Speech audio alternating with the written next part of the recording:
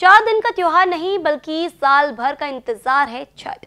उत्तर भारतीयों की सबसे बड़ी परंपरागत पूजा, अर्थात छठ पूजा, जो कि नागपुर के कन्हा नदी पर बड़े ही धूमधाम से मनाई गई।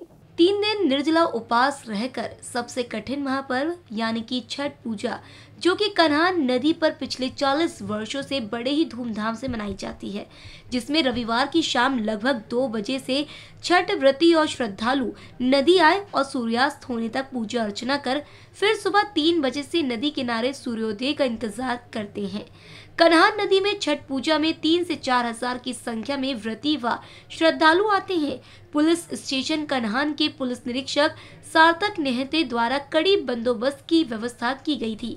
वहीं दूसरी ओर महाराष्ट्र में दो बड़े चुनाव से पहले छठ पूजा घाट राजनीतिक गलियारों की शिकार होते दिखाई दिया, जिससे हर साल से अधिक राजनीतिक पंडाल देखने को मिला। सोमवार की सुबह छठ व्रती और श्रद्धालु शांतिपूर्ण तरीके से पूजा कर अपने घर लौटे। छठ घाट पर श्रद्धालुओं के लिए भव्य लाइट की सुविधा पीने के लिए पानी की सुविधा, महिलाओं के लिए शौचालयों की सुविधा की।